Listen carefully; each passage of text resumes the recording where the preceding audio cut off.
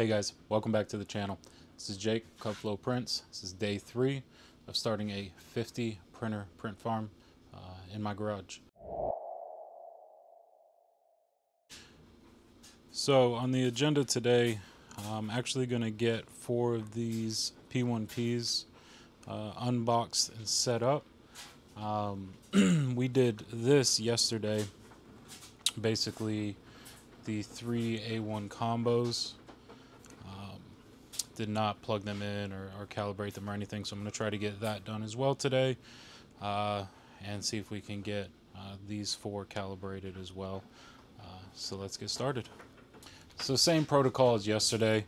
Um, I'm basically just going to start pulling these off of the shelves, getting them unbagged, getting them set up, uh, and then hopefully we can run power to everything and uh, get everything calibrated and ready for printing.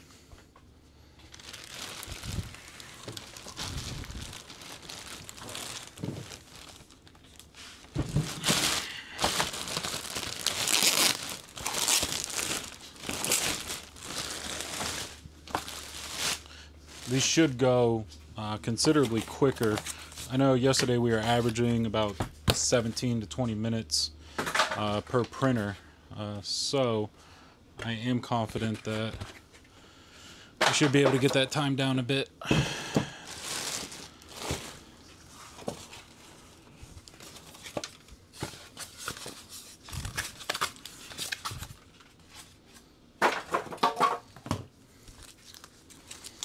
And again, this isn't you know necessarily a uh, you know how to step by step. Um, there's plenty of great videos online um, to do each printer. Um, this is more of just a, a day in the life of setting up a 3D print farm.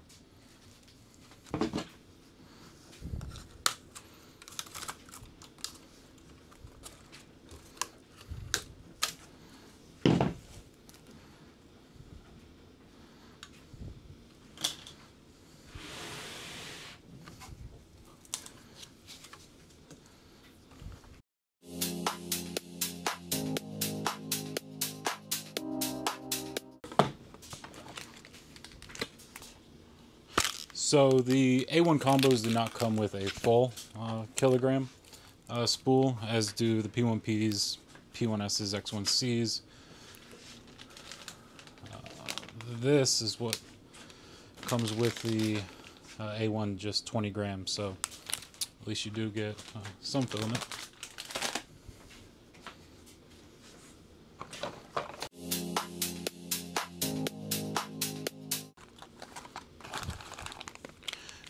And, you know, a lot of you may already know, it actually comes with uh, a spare hot end um, and some other few uh, spare parts.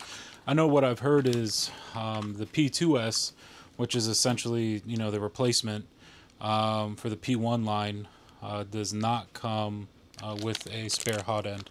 So keep that in mind if you're buying one and you know you want to make sure you have some extra parts. I purchased uh, some extra parts for the printers uh, that I bought for the P1 line um, and the A1 uh, line as well. So that way, you know, if something breaks, I'm not waiting to purchase um, and replace the part. You know, I can alleviate some potential downtime. Um, but there's enough printers to where currently with the setup, uh, I don't anticipate that being a big deal if one or two goes down um, and I don't have a part. Um, but nonetheless, I, I, like to be able to have a bit uh, of extra spare parts just in case um, for now.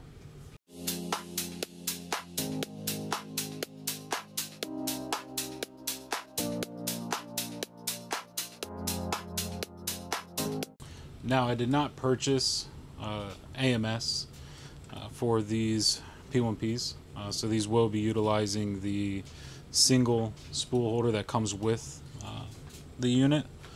And, uh, you know, like I said, I, I, was looking on Bambu's website and they had a, a pretty attractive deal. Um, for the AMS and AMS 2 Pro. Um, I should have pulled the trigger uh, sooner because when I went to go uh, back on to get a few for specifically for these uh, P1Ps. Uh, they're already sold out. Uh, currently on the website it says uh, available in February, but it won't let you uh, purchase any. Um, I know some of the printers on the website right now are back ordered, um, but you can still purchase that printer um, even though it says back ordered. But the AMSs um, can't essentially purchase any of them right now.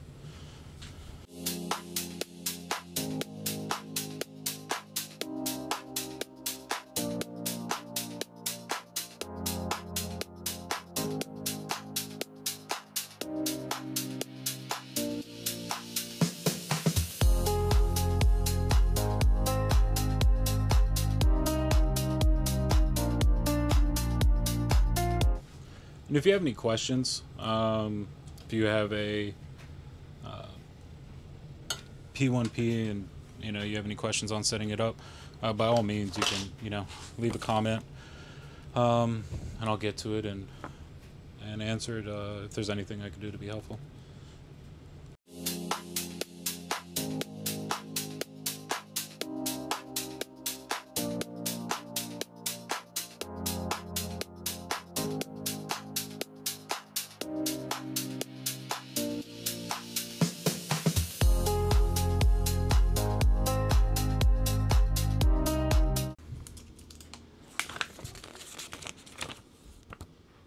Yeah, super simple.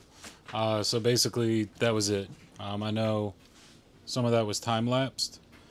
Um, and it was my first time I was reading through the instructions to make sure I, I had everything correct. I watched the video prior, um, and I just double checked the instructions. There's literally like four or five steps, and you're all together. Um, you know, the A1 yesterday, you had you had quite a bit more, um, but overall for for either of the printers. Um, not bad at all.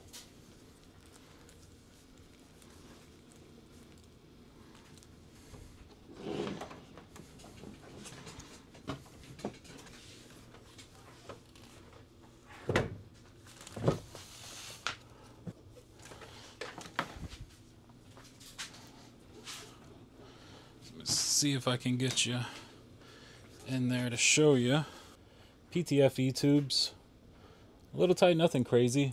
I've kind of seen the same setup. I mean, this um, support bar running from front to back, you know, might start rubbing a bit more um, over time or kinking it. So I may have to take that out completely.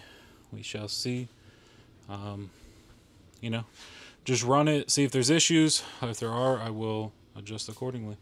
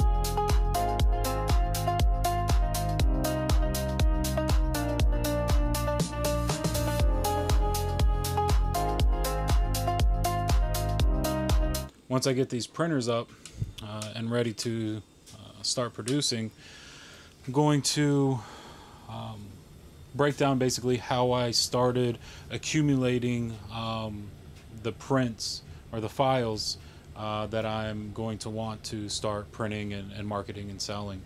Um, real straightforward, uh, and that will be uh, again in, in, the next uh, few videos.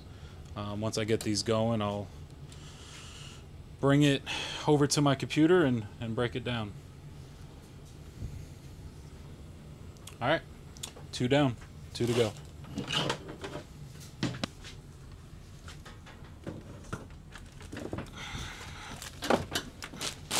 So, and I've had, honestly, all these printers since, uh, I think June or July this year.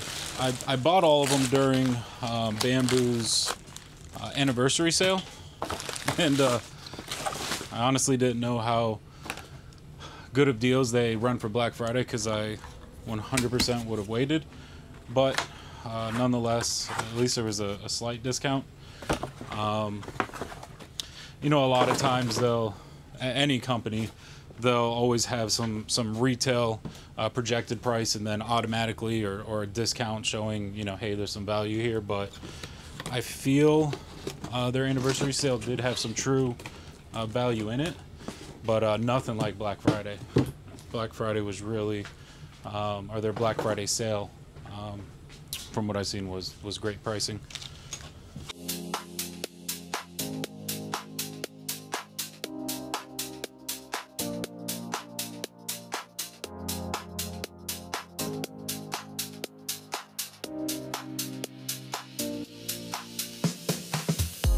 So, and I'll get into it too. Um, you know, basically just my understanding uh, of the filament, where I sourced it, how much I paid.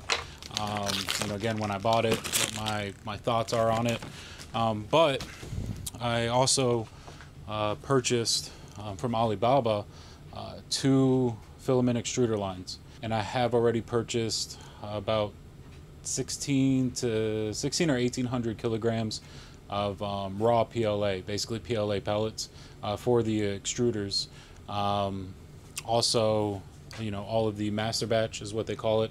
It's basically the concentrated color um, that you add. Uh, it's a very small percentage uh, that you add to this uh, raw PLA to create, um, you know, any particular color. So I'm going to document it, uh, break it down, you know, the cost, exactly where I bought uh, the extruder lines, how much I paid for it, where I got the raw PLA, um, you know, just completely break down um, everything about that as well.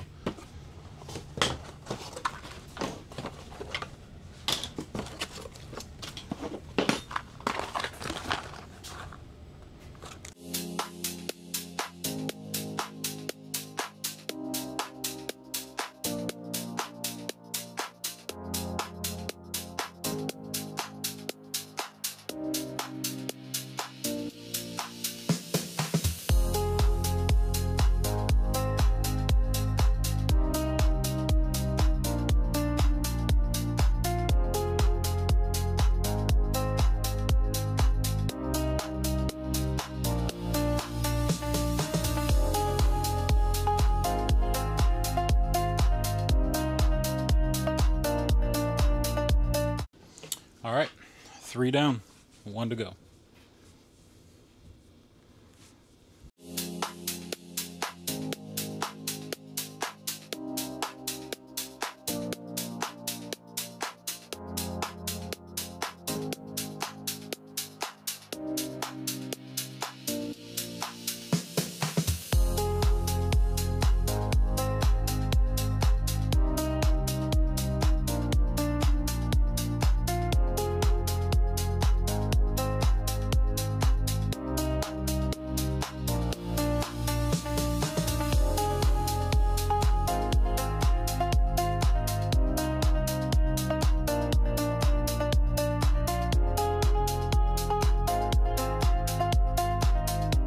All right, and that is all four.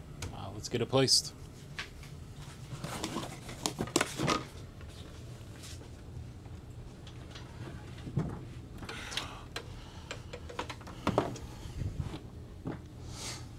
Yeah, that worked out perfect. Um, you know, getting four of these into one row, I mean, it's it's just you're maximizing uh, the available space. You know, here's the thing: um, I'm trying to keep my overhead as low as possible uh, in the beginning, and you know, for as long as I can. Um, and there's some guys paying, you know, commercial leasing. Um, and the amount per square footage is it, it's a lot you know um, anywhere you go really i mean i'm sure there there's some rural parts where it's not as much but as a general rule of thumb it's pretty expensive so even if you are not doing this from home any chance of really maximizing your available space uh, it, it's a win. So I, I really like that. You know, these are condensed enough. Um, so essentially, uh, what I bought to power these, it's not so much powering them, um, but it is basically a battery backup.